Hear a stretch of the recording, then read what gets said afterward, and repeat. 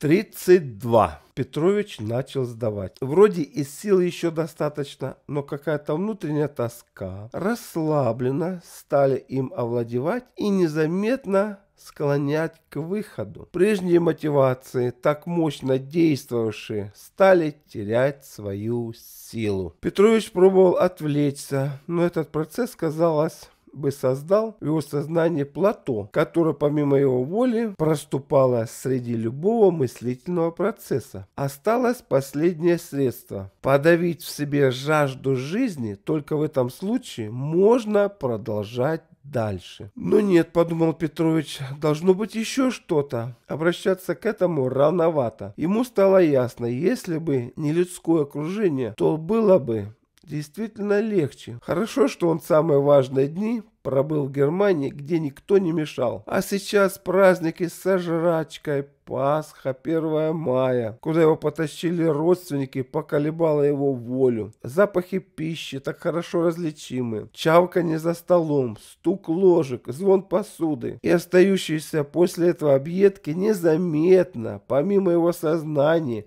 действует через подсознание. Действие заключалось в одном – сорвать голод. К тому же очищенный кишечник начал ососать, сводить, ведь он ожил. Петрович старался бороться с указанным вызыванием радостных настроев. Но это плохо получалось. Надо было что-то найти, выдержать намеченный срок, либо дождаться самопроизвольного окончания. Язык разовел, но белого налета было достаточно. Гной из глотки уже не выделялся. Выделялась тягучая слюна с примесью гноя и крови. Петрович заметил, что лицо его начало гореть. Это поднялась температура. Он понял, что наступает очередной очистительно-оздоровительный кризис, затрагивающий глубинную патологию. Его предстояло выдержать, пережить. На его осуществление уходит сила организма. Тело до предела расслаблено, суставы болтаются. Энергия экономится во всем. Одно радовало – голова свежая.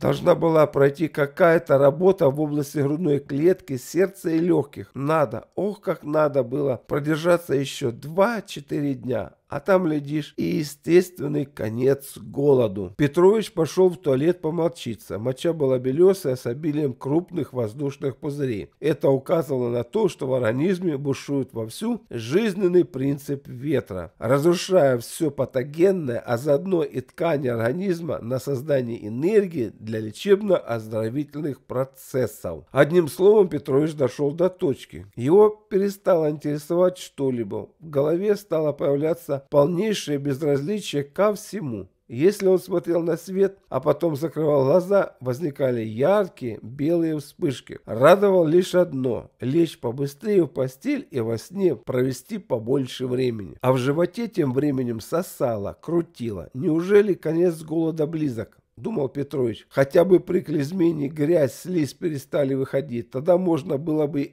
и выход делать. Ладно, дождемся следующего утра. Благо, что ночь впереди. С этими мыслями он пошел вниз к семейству, которое смотрело очередную ерунду по телеку и, естественно, жевало Пасхи, пило чай тому подобное. Спал Петрович хорошо, утром сделал клизму. Вышло какое-то количество разлагающейся опухоли и застарелой желчи в ней, что и вчера. Вообще Петрович заметил, что утром он чувствует себя намного свежее, а под вечер силы тает, появляется хандра. Как правило, упадок сил наблюдался перед тем, как выходит большое количество шлаков или опухоли. Организм много сил на это тратит, и внешне это выражается в упадке сил. Ну вот, малеха просветлела, обрадовался Петрович, жить можно. И включился в обычный день. 33. В эту ночь Петровичу приснился знаменательный сон. Он возле какого-то озера на очень крутом берегу. Ходит он по нему очень осторожно. Можно сорваться с крутизны и упасть. Вода внизу далеко и темная. Петрович осторожно подлез к обрыву и смотрит вниз в воду. При сосредоточенном взгляде темная вода вдруг светлеет круглым пятном, и он видит не дно, а какой-то проход. Это его заинтересовало, и он еще раз посмотрел на воду. Обратно появилось светлое пятно. Больше оно не появлялось. Пока Петрович присматривался в воду, его кто-то пододвинул к краю обрыва, и он начал с него соскальзывать, вот-вот упадет. Чтобы этого не произошло, он стал карабкаться вверх. Немного поднявшись, он вроде бы выбрался, но попал в какой-то бетонный проходе, который сильно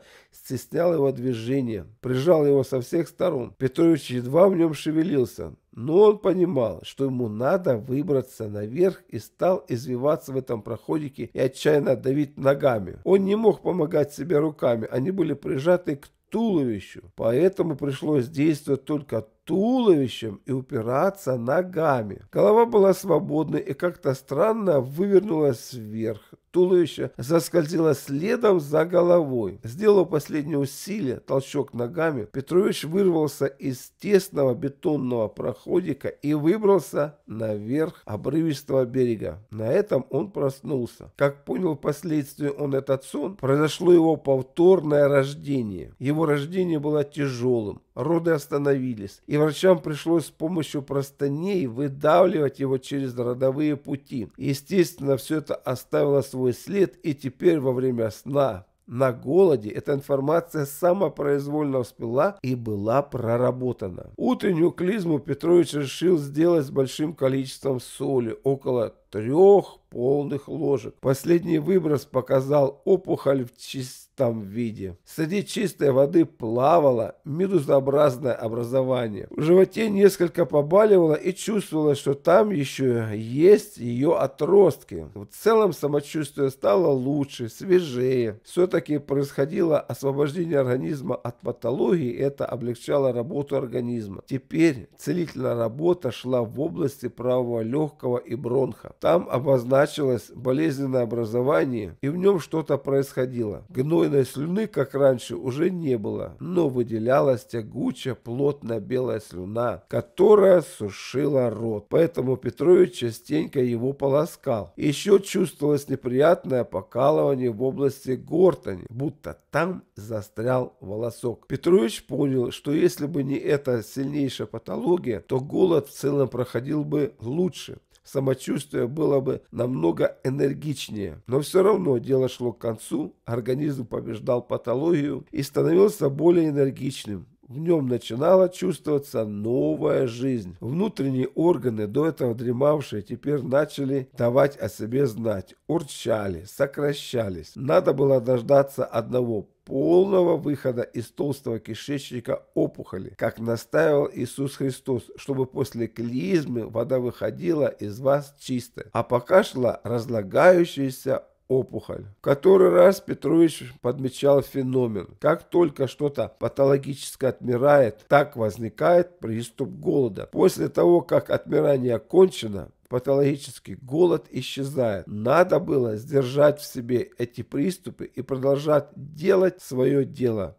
занимая ум какими-либо делами, желательно умеренной физической работой. Сделав утренние асаны и увидев, что кожа, особенно на голенях ног, стала очень сухой, Петрович принял контрастный душ. Это не только добавило влаги в организм, смочило кожные покровы, но и наделило бодростью. Далее наступил обычный рабочий день с его суетой. Петрович пришел на свое рабочее место, сел и начал разбирать документы. Вместе с ним работала молодая незамужняя женщина Светлана. Она также интересовалась вопросами самооздоровления, духовного совершенства и прогрессивно мыслила в этом направлении. Несколько лет назад у них установились тесные отношения, и они предавались безграничному сексуальному удовольствию. Не в чем не зная запрета. Любые сексуальные фантазии, как с его, так и с ее стороны, удовлетворялись мгновенно. Поначалу зрелому мужчине, Петровичу, это очень нравилось. Молоденькая Светлана казалась ему подарком судьбы за годы воздержания. Петрович начал регулярную половую жизнь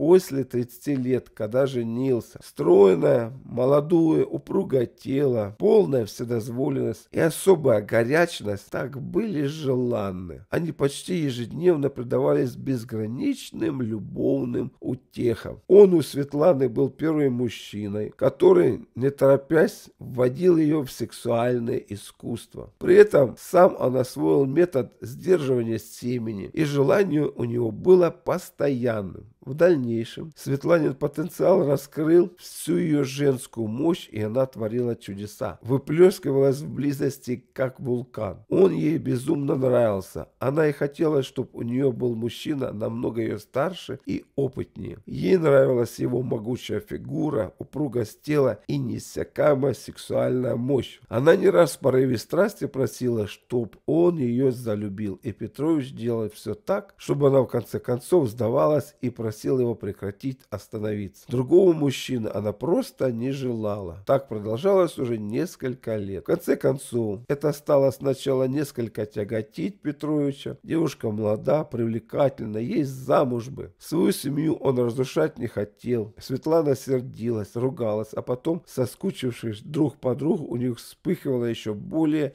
сексуальное пламя. Однако Петрович понял, что это своеобразная зависимость и стал постепенно постепенно отдаляться. Светлана познакомилась с парнем и собиралась выйти за него замуж. Однако желание к Петровичу у нее осталось. Она даже хотела, чтобы после замужества он сделал ей ребеночка. Он будет очень хорошенький, говорила она. Это будет плод такой сильной любви. Петрович знал, что это будет грех. Жить с одним человеком, а иметь ребенка от другого. И наотрез отказался. Сексуальное чувство перестало тяготить его. Казалось, он его уже проработал сказал. Возможно, да, и останется только близость с женой, а возможно, оно еще вспыхнет вновь. А если все это откроется, говорил он ей, как твой будущий муж на все это посмотрит, на тебя и ребенка. Но она твердила, мол, он ничего не узнает. Петрович сказал ей, что надо жить с тем человеком, которого ты выбрала сама, и не морочить ему голову. И вот Петрович пошел на голод, уехал в Германию, а когда вернулся, шли уже 33 сутки голода. Это как-то естественно оборвало их отношения. Она знала, что он на голоде и с интересом посматривала на него, какие изменения с ним происходят. Разбирая бумаги, он сидел напротив Светы. Невольно он физически почувствовал ее желание, и между ними установилась энергетическая связь. Она шла от его половых органов и пупка к ней. Петрович продолжал сидеть и разбирать бумаги. Через некоторое время Света сказала, «Посмотри на мое лицо, оно пылает, и голова справа разболелась. Ты либо вампиришь от меня, либо какой-то полевой паразит от его поля во мне расшевелился. Ее лицо действительно горело и было красным. Петрович, зная Свету, подумал, что возможно это последнее.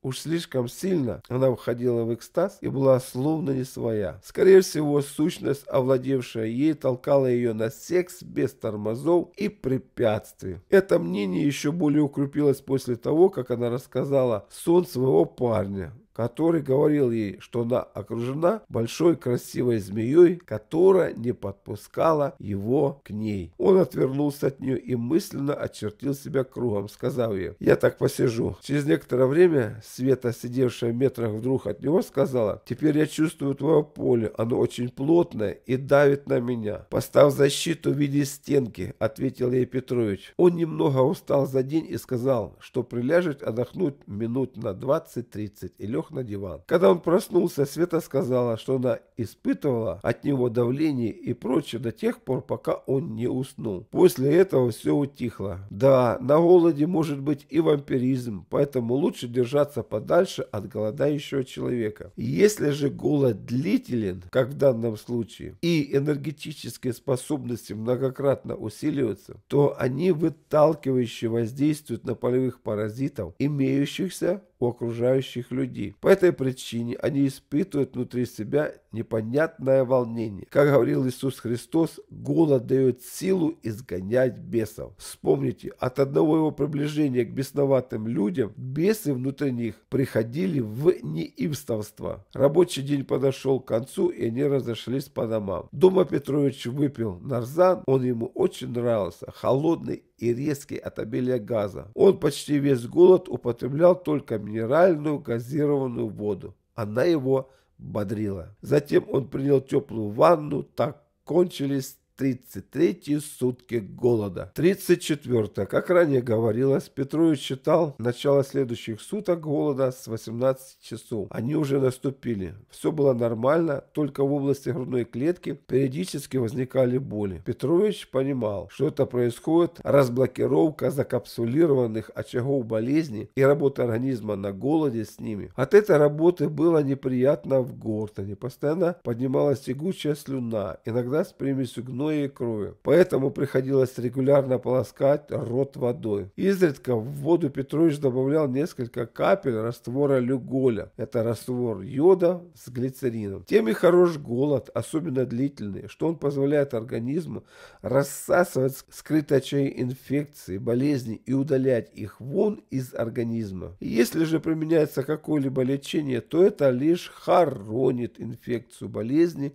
в организме. В результате подобного к старости организм превращается в кладбище подобных похоронок. И если он ослабевает, то инфекция выходит из них и быстро уничтожает организм. Именно так умирает большинство людей от болезней, старости. Ночью Петрович спал плохо, снилась какая-то ерунда. Утром сделал очистительную клизму. Помимо соли он добавил в нее около грамма раствора люголя. Вода вошла легко, боли никаких не было, так чуть расперла и все. Первый же выброс показал, что отторгалась болезнетворная ткань опухоли. Она плавала в виде плотных тканевых образований в совершенно чистой воде. Следующие выбросы показали, что шлаков отходит примерно то же количество, что и до этого дня. Только цвет их стал не такой темный. По обе стороны от пупка возникли неприятные режущие боли. Петрович прилег отдохнуть, положил руки на живот и расслабился. Примерно через 20 минут он почувствовал позыв и пошел в туалет. Из него вышла черного цвета опухоль. Она лежала в чистой воде в виде плотной медузы. Петрович взял кинокамеру и заснял ее на пленку. Вот так выходит порча, подумал он. В старину всякое поражение организма называли порчей. И это более верно, чем сейчас говорят о болезнях. Суть одна. Порченный человек болеет от опухоли или от глисту, или по своей глупости, или от постороннего зла. У Петровича создалось такое впечатление, что весь живот пророс подобной грибницей. Когда он так успел себя запустить? Задавал он себе вопрос. Да, были боли в животе, но потом все проходило. И тут его осенило. Всему виной вырезанный аппендицит. Ведь этот лимфоидный орган стоит у начала толстого кишечника и призван обезвредить то, что может опускаться вниз по тонкому кишечнику и то, что может вредно образовываться в самом толстом кишечнике, особенно в его правом восходящем отделе. Ликвидация этого органа иммунитета для толстого кишечника и всего живота означает общее ослабление иммунной защиты в этом месте. И теперь ничем не сдерживаемая инфекция, грибки, микробы, бактерии прорастают на слизистой толстого кишечника, оплетают его, стелются по нему, образуют грибницы, прорастают слизистую оболочку, возможно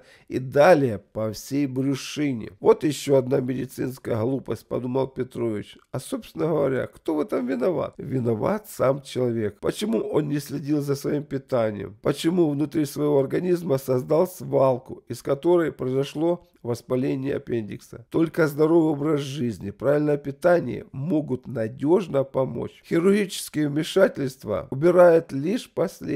Например, воспаленный от токсической нагрузки аппендикс. Зато причина интоксикация. Паразитарная инфекция остаются. А операция лишь способствует тому, что облегчает поражение толстого кишечника, а вместе с ним и всего организма инфекции. Сдерживающего иммунного фактора аппендикса нет, а инфекция есть. После операции организм ослабен. Именно это и надо, чтобы патогенное начало быстро размножилось, что и происходит будет на самом деле. Вот так рассуждал Петрович о порочности удаления аппендицита. Эта операция лишь отдаляет страдания человека и приводит в дальнейшем к более серьезным последствиям – онкологии. Именно это и наблюдалось у него. Слава Богу, что я вовремя предпринял этот голод, подумал Петрович. Более того, поражение через толстый кишечник идет очень медленно, и человек свое нездоровье, разрушение отождествляет с чем угодно, но только не с этим. Поднимающаяся вверх по тонкому кишечнику, паразитарная инфекция портит пищеварение, инфицирует желчь и печень. Печень угасает. Чистки в данном случае помогают мало, давая лишь временный эффект. От ослабления функции печени страдают все виды обмена веществ. Начинается рассасывание эмали на зубах. Инфекция в лунках зубов помогает этому. Слабеет зрение, стареет кожа и покрывается какими-то растяжками. Петрович удивился лишь одному. Почему при таком сильном поражении организма опухолевым процессом у него была высокая потенция. Возможно из-за того, что он применял методику, сохраняющую семя. После выхода черной медузы самочувствие еще несколько улучшилось. Пропала расслабленность в ногах, чуть больше стало тонуса в организме. Но того прилива сил, необыкновенной энергии, которую он однажды испытал, проводя несколько лет назад десятидневный голод, не было. Примерно на девятые сутки он ощутил мощный энергетический поток, протекающий через него. Каждая клеточка в его организме забурлила от этой энергии, а тело будто будто подлетела в воздух. Это было какое-то волшебство. Организм был переполнен особой радостью, энергией. Теперь же, борясь со смертельной болезнью, отторгая ее, организм медленно, но верно набирался сил. Видя все выходящее из него при клизминии, Петрович поставил одну задачу – добиться того,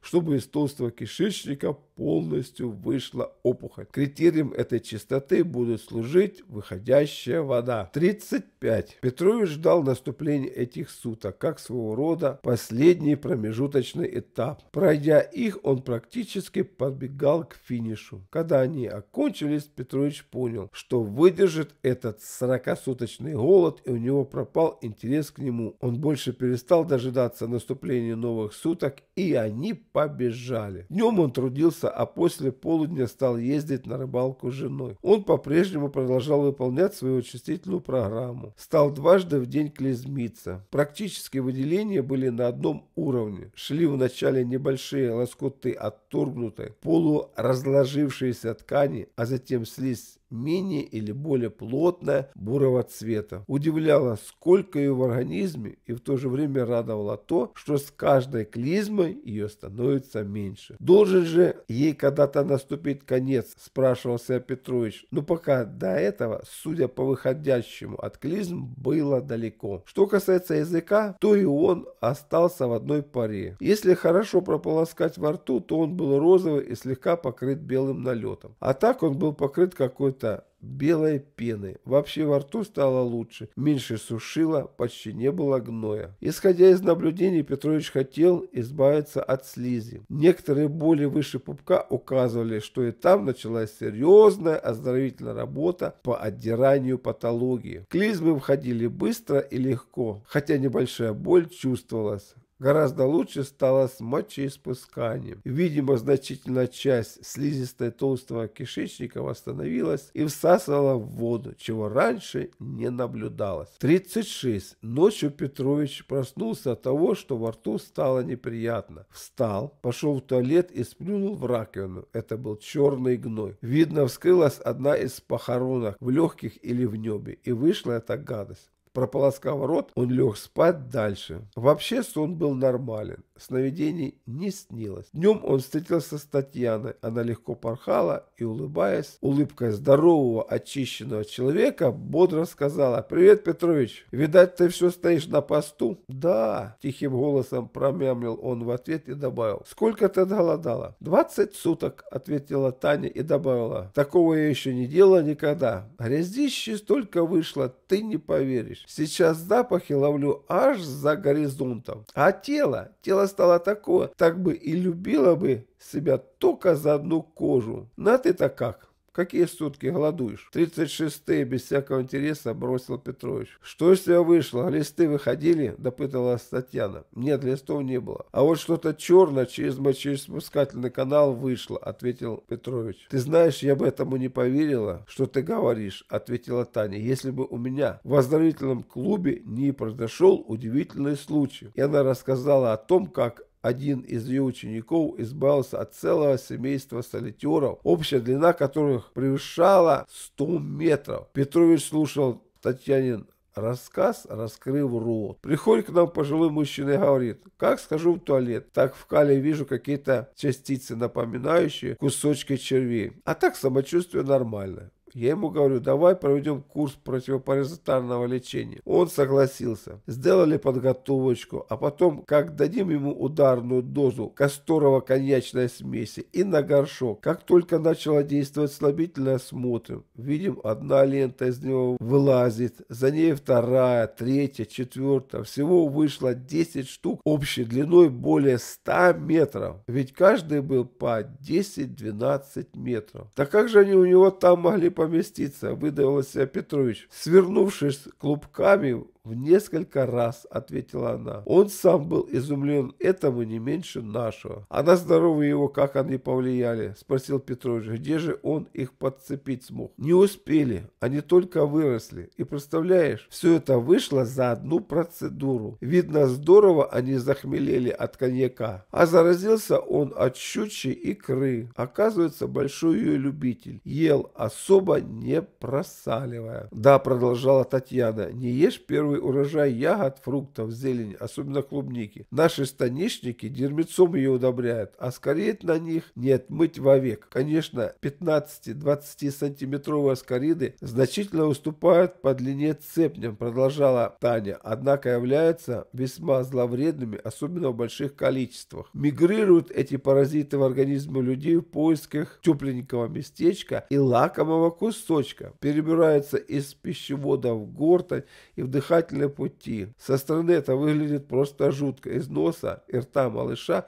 извиваясь, вылазят черви. Петрович с вспомнил рассказы родителей о том, как из него самого, правда, из задницы вышла аскарида. А иногда червячки умудрялись заползать из кишечника даже во влагалище, продолжала Таня. Одна женщина это сама видела. Сделала тампон из упаренной урины на ночь, а утром вынула и обомлела. Толстенький, жирненький, свернувшийся калачиком, беленький червячок, похожий на опарыша, сидел на тампоне. Вот тебе и серьезная причина инфекционных заболеваний половых органов. И это не считая гастритов и всевозможных внутренних воспалений пищеварительной системы. Но я голодаю уже 36 сутки, и ничего, кроме слизи, из меня не выходило, перебил ее Петрович, стараясь заверить не столько ей, сколько сам себе. Еще мы вылечили паралич и успешно применяем бузину. Хочешь, дам рецепт проверенный, предложила Татьяна. «Нет, не сейчас. После голода возьму», — ответил ей Петрович. Остаток дня прошел нормально. Ложась спать, Петрович подумал, лучше бы глисты были, их вывести легче, чем грибницу. Ну да ладно, и к ней подберем средства. С такими мыслями он спокойно заснул, предвкушая скорое окончание голода и радость некой победы над неким внутренним врагом. 37. Во рту в начале этих суток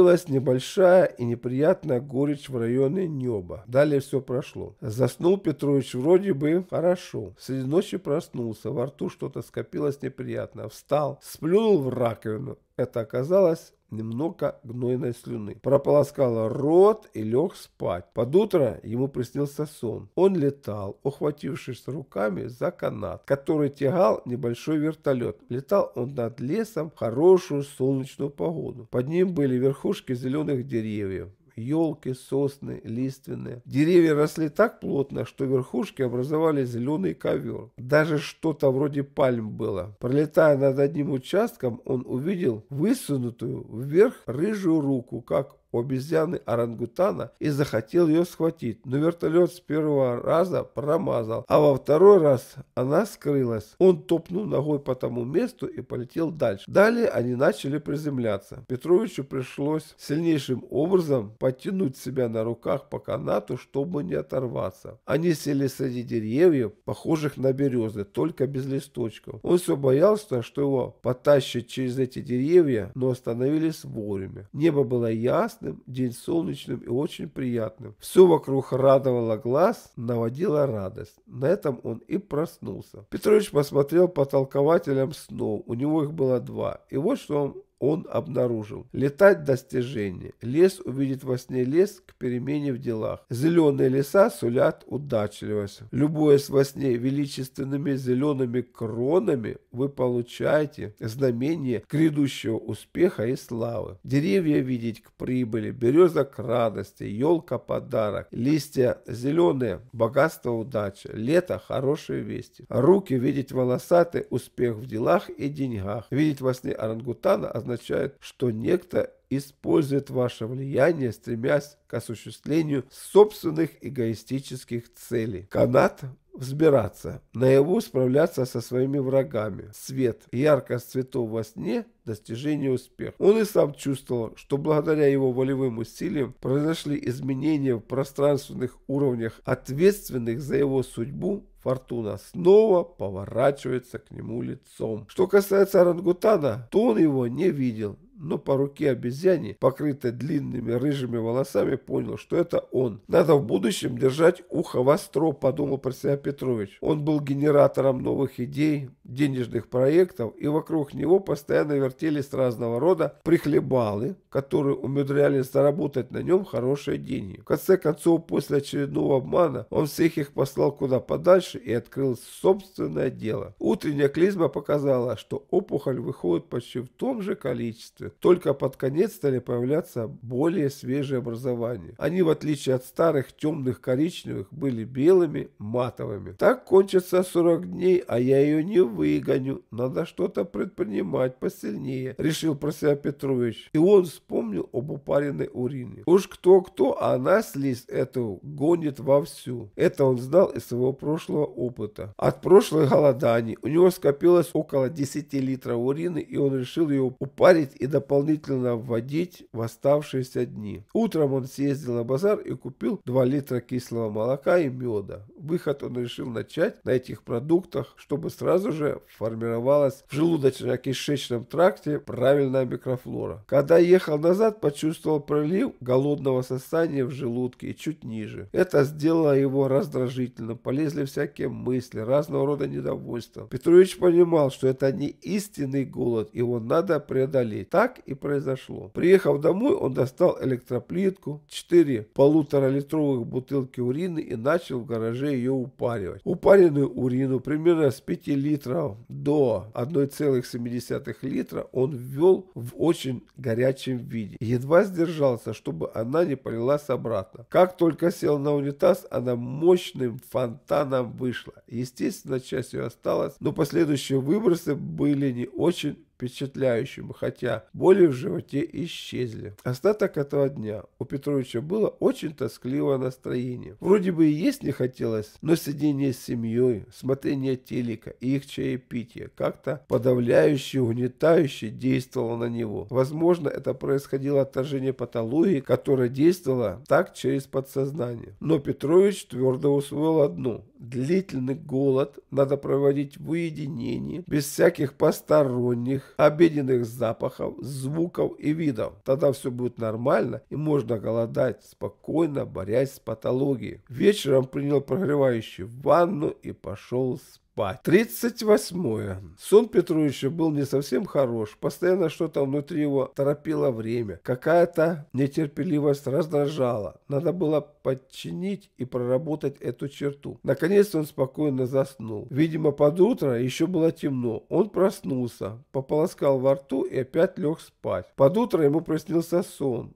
Он и вся его семья, на какой-то снежной равнине. Снег белый-белый. Семья с чем-то они возятся. А потом он увидел вдали на фоне чистого голубого неба фонтан, бьющий из-под земли. Хотя подумал, что это смерч. Фонтан был огромен до самого неба, бил белой струей, рассыпался вверху как гриб и двигался в их направлении. Они собирались спрятаться. Вдруг из фонтана выскочил в их направлении великан, огромный человек и исчез. Фонтан превратился в вихрь, который постепенно распался рядом. Петрович проснулся и посмотрел с Соники, что это означало. Снег. Если вам снится сверкающий на солнце снег, значит, не ласковая к вам фортуна, подчиниться вам, и вы будете располагать властью. Вообще белизна снега к благополучию и богатству. Фонтан. Видеть во сне фонтан с чистыми, сверкающими под солнцем струями означает достаток, упоительную радость, приятные поездки. Вообще видеть фонтан в большой радости, приятной неожиданности. Великан. Если во сне рядом с вами неожиданно появится великан, то наяву будьте готовы к столкновению со своими недругами. Если если он убежит, это хороший знак. Далее последовала очистительная клизма. Последний выброс содержал большую массу отошедшей темно-бурой опухоли. Она плавала в совершенно чистой воде в виде темной медузы. Самочувствие Петровича резко улучшилось, добавилось энергии, оптимизма. Внутри его предчувствовался праздник. Завтра 9 мая, День Победы, и наступали сороковые сутки голода. Он выдержит это суровое испытание, и это особенно возбуждало и радовало его. Сделать дело до конца, не дрогнуть ни перед чем, несмотря ни на что, в глубинах существа Петровича тихо начиналось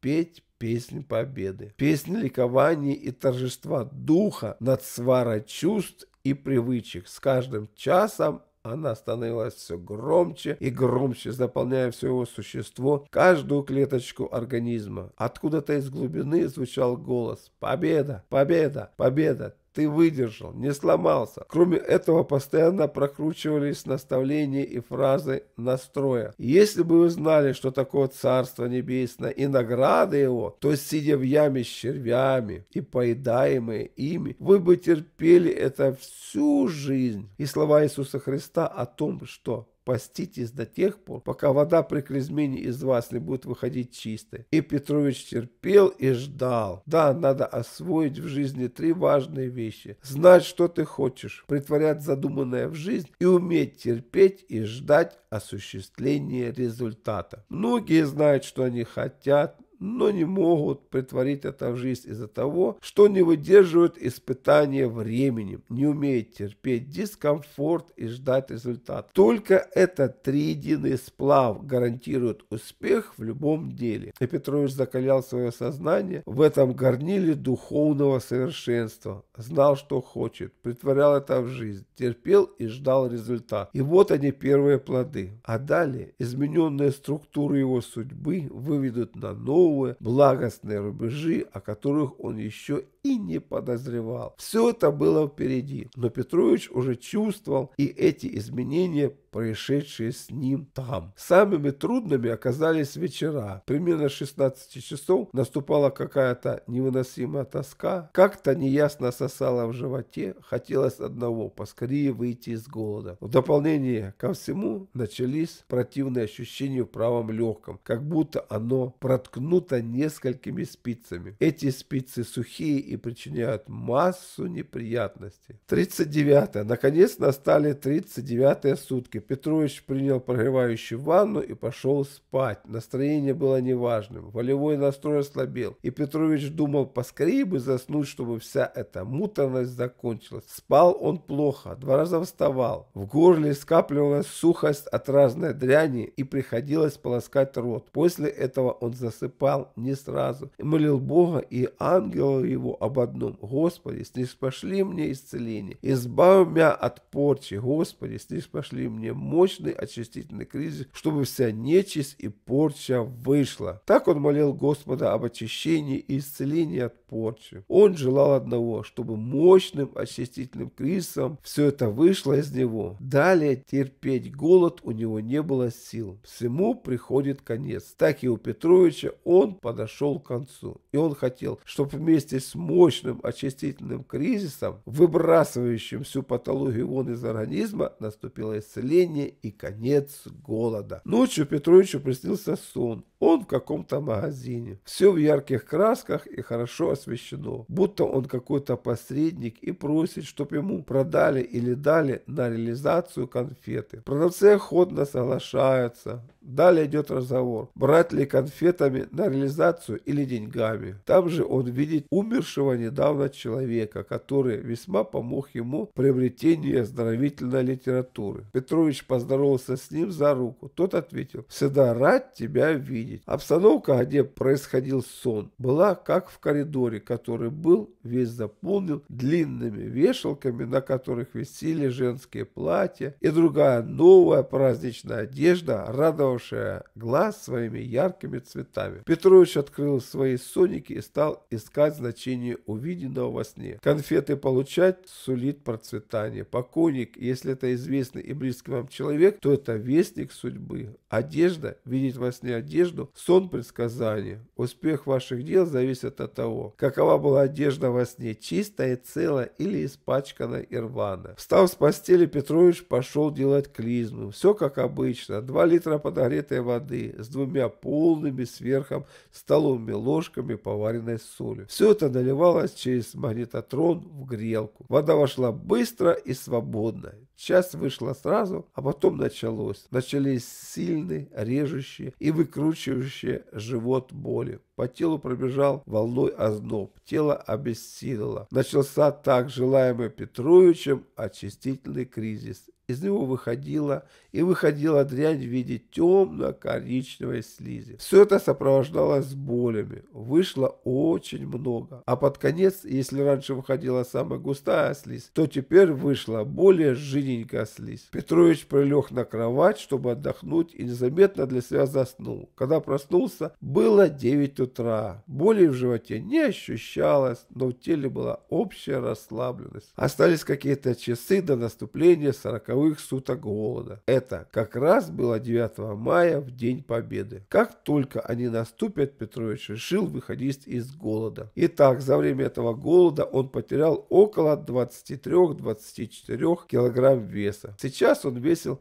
75 килограмм и понял, что за все это время он тяжело болел. Теперь ему предстояло выйти из этой болезни. Петрович твердо верил в успех и ждал прекрасных результатов от проделанной голодом работы над его организмом. 40. Вот она, победа духа над толпой дурных черт характера, чувственных потребностей. Все это подчинено, поставлено на место. Да, да, да, да, ты это сделал, твердил себе обессиленный, но радостный Петрович. Утром он сделал еще одну очистительную клизму, вышел огромный шмот опухоли. Около 12 часов дня он начал выходить из голода. Большое дело было сделано и в ближайшее будущее должно было показать его результаты. Закончилась первая часть записки голодающих. Следующая будет часть вторая на пороге тонких миров. Мое обращение к посетителям канала. Поддержите канал, поставьте лайку, дайте какой-нибудь отзыв.